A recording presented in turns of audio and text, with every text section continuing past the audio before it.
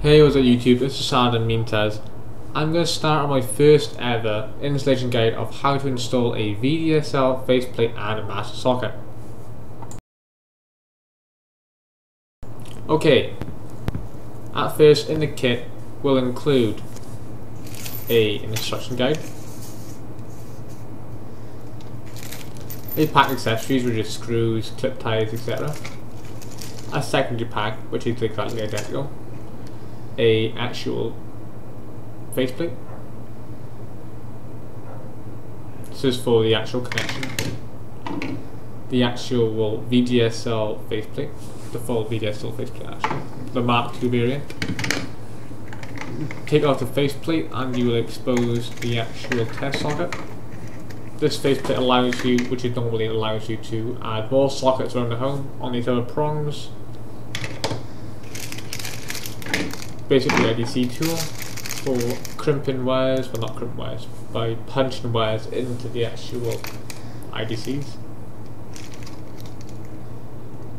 Packaging.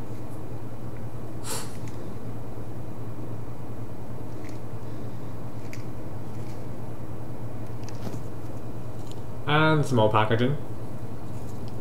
Right, basically on the right hand side you will see the new PCB board of the Mark II VDSL socket on the left hand side you'll see the old PCB board of the old VDSL socket, but this was actually damaged. You can't really see much more resistors or modules etc on the boards, but there are different layouts and configurations, which is probably for different various reasons, which is probably for heat or whatever, or for different static but reducing areas, or for adding more microfilters etc. There's loads of different areas that can be affecting these or get a better chance of surviving future enlargements. These new filters can actually support more line speed and higher frequencies, and they also have an RFI filter, which is a very good thumbs up. You will need a pliers for cutting and crimping, scissors for taking the sheathing off, an IDC tool, well, that's it, a screwdriver, well we actually need two screwdrivers, you actually need a flathead and a posi drive. Full core wire if you want to do a hardware. Flat ADSL cable. A microfilter that is normally supplied by uh, suppliers that you will not need anymore. Basically by first test this is with my old a VDSL socket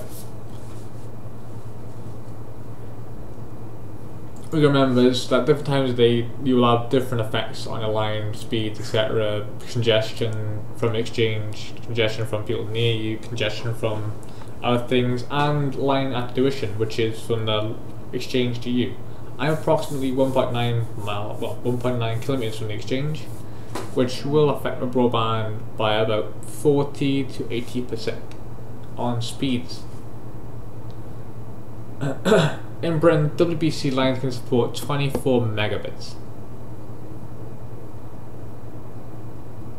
And you see mine at about 14 meg with a 12 millisecond ping. Always run your test on a, the BTW speed test, which is basically a wholesale speed test. Um, it's moderately accurate. It's actually a diagnostic program that BT and Openreach used and the suppliers use to basically show the best connection or define out rural areas of your connection. Right then, carrying on with the test. Basically I'm still on the WBC speed test. Right, so first off, this is my Sky router, this is the number 2. Always shut down and power down your router, then disconnect your ADSL cable, then disconnect your RJ I think it's 45 connector for your phone line. Then disconnect the RJ11, which is for your ADSL. Or you just set them back to front. I can't actually remove this one from the actual jack, which is the basically the downside of these new uh, ADSL ports on the VDSL connectors, or master sockets, faceplates, etc. Uh, you will need this screwdriver flathead, which been trying to do. Take the actual socket off with one hand, which is kind of very hard to do when you're trying to record with your phone. So yeah, basically unscrew the screws, pull the faceplate off, expose the test socket. Well, on the VDSL socket itself. Take the VDSL socket off, then expose the original faceplate and back plate. Unscrew the, the back plate with a Phillips, I think it's a Phillips, or poly drive, whatever you want to call it remove the backplate or test socket, whatever you want to call it. This one I actually bought together accidentally.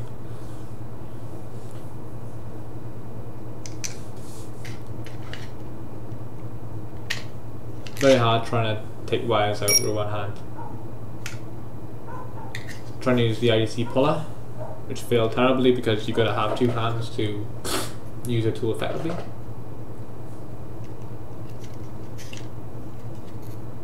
You can't do it one hand, but you could if you was, you know, checking officer.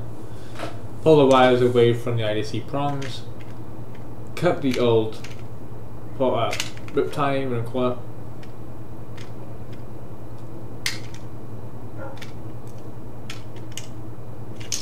Remove the cable away, pull off the old thing, chuck it in the bin, job done. Next, cut the wire. Take the sheathing off with a scissors. Cut about an inch away from the face of the wire.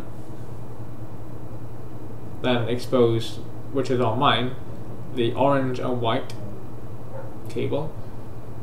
The yellow wires are actually fax cable wires of them, right? And the other two are for lower connection, for the old ADSL connection.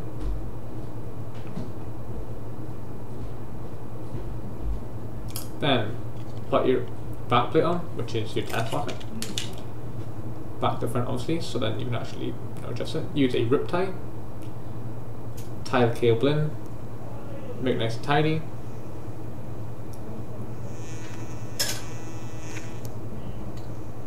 Make sure that's secure.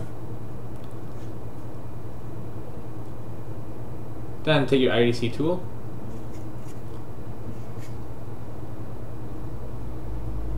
Reroute the wire towards the IDC prongs. Push down slightly with your finger first, obviously. Then take the IDC tool, measure it up over the IDC ports, prongs, we don't call them. Push down firmly, which is kind of hard against the wall with one hand. I, you know, stop recording to push down properly. Push your wires in so it's nice and tidy. Cut them off, make sure it's nice and tidy by push. All you do now is basically align your back plate or test plate towards your back box, put in a long thread screw, uh, and a long thread screw, tighten desirably, try not to over tighten because you will warp box.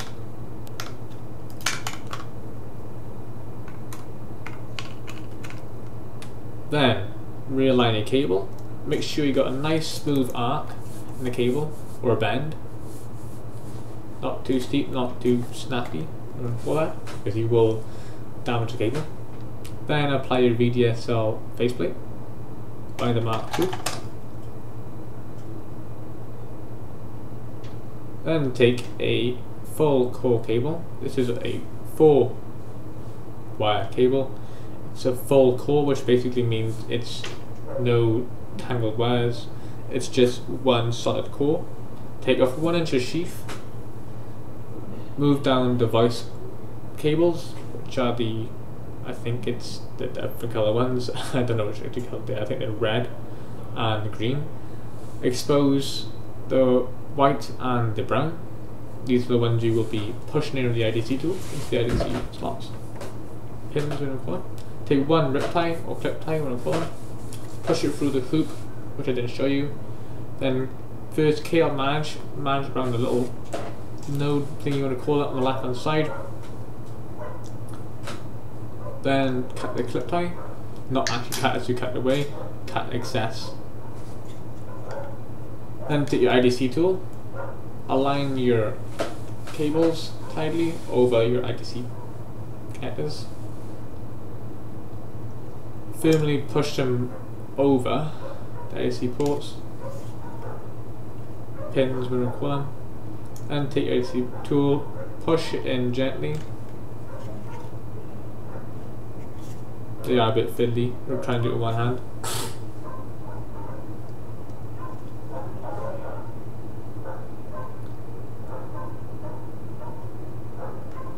It's actually very, very fiddly with one hand, actually. When you hear a crack, then you will know that it's actually cut the cable. Take the faceplate, complete faceplate, tent plate, what I call it, put it on, screw it in with short thread, long screws. This is a fiddly part.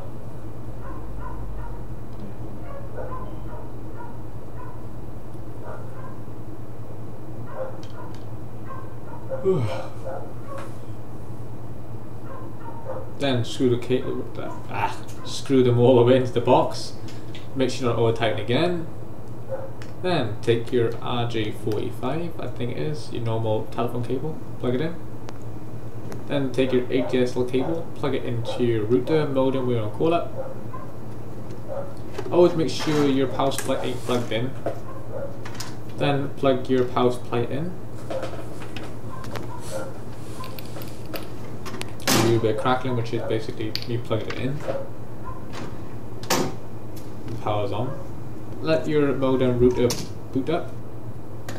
These are my line stats, current line stats. My background I made.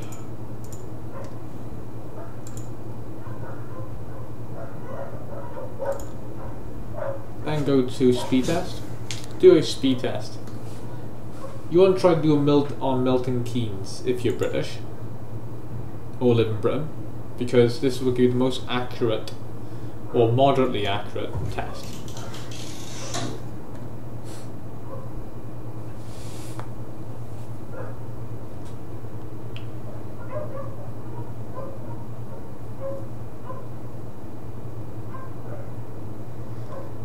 We remember you gotta leave a line overnight or for 10 days to restabilize or you to see any difference. You might not see any difference, but you should see some CRC or CRF errors, what they call them, dissipate.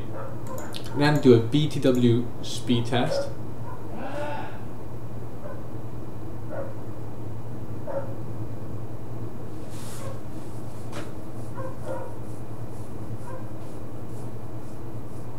Like always, you will need to wait for the line to stabilize afterwards. You might see an instant improvement over errors. Um, you will see a lot of um, better control of your line, be more stable now. So yeah, thank you for watching my video. If you liked it, thumbs up. If you didn't like it, thumbs down.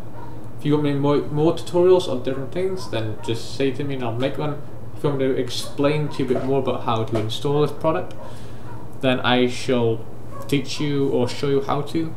Thank you.